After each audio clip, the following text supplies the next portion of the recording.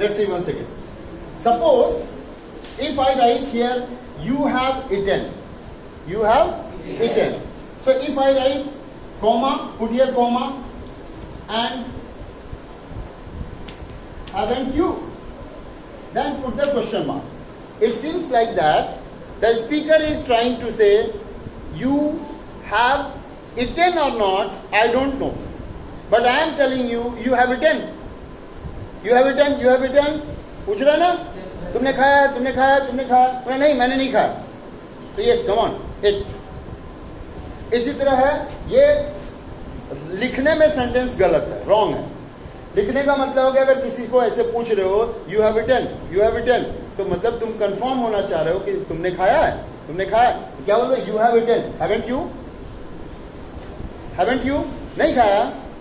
इसका मतलब नहीं खाया है ना? ऐसे सेंटेंस जो होते हैं, जैसे I am doing he is going he is going to market sir he is going to market देख लो तो पूछे are you are you going to market you are going to market aren't you negative होगा। जो भी उसमें ऑब्जर्वरी होगा, उसके साथ एंटी लगा करके और सब्जेक्ट को लगाते हैं। इसको कहते हैं क्वेश्चन टैग अगर पॉजिटिव होगा तो उसको निगेटिव बनाएँगे निगेटिव होगा तो positive I have I have not done sir I have not done sir तो इसको क्वेश्चन टैग बनाएँगे तो क्या बनेंगे? I have not done sir I have not done sir comma have I have I क्योंकि I haven't done मैंने नहीं किया सर तो उसने अच्छा तुमने नहीं किया, है ना? क्या है ना? तुमने नहीं किया, है ना? वो है ना वर्ड जो है वही कहलाता है question type okay understood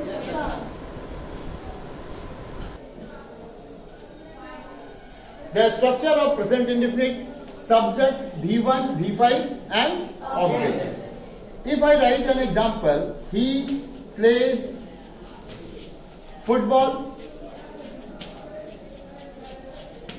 he is a subject plays a birth and football is an object Plays is a B five. Place is a V5. How? The verb which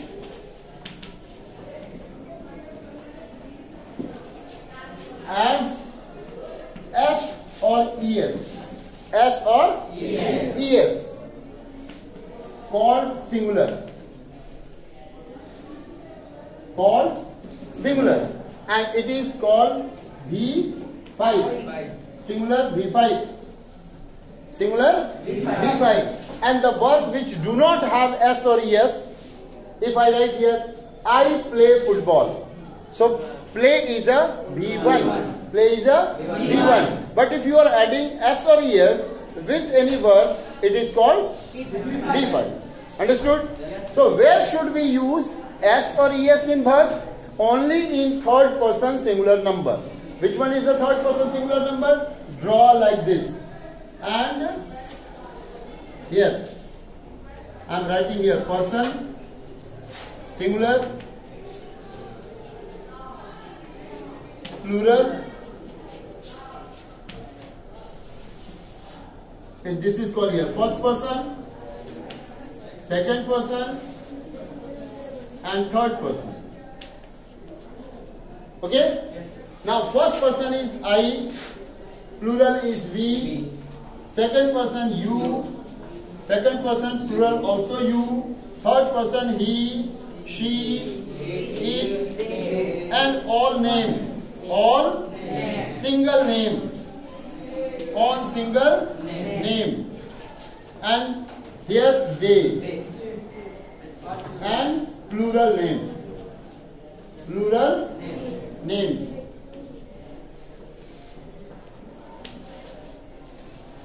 समझ आ गया? तो ये जो थर्ड पर्सन सिंगुलर नंबर है जो ये क्या है?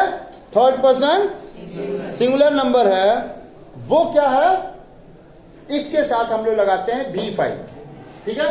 तो यहाँ लिख देंगे only with third person singular number third person singular number B5 is used. B5 is used. used. And except third person singular number, only V1 is used. clear हो गया in assertive sentence.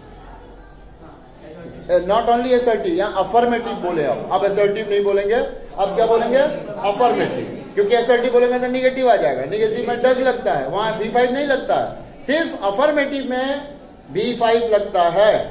और B five क्या है? Verb में?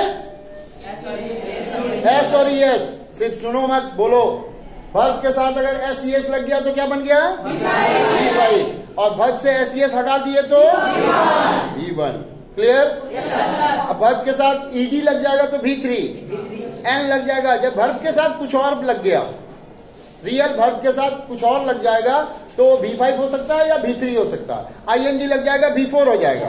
लेकिन verb में कुछ भी नहीं लगेगा तो बी वन हो। Original form of verb is called B one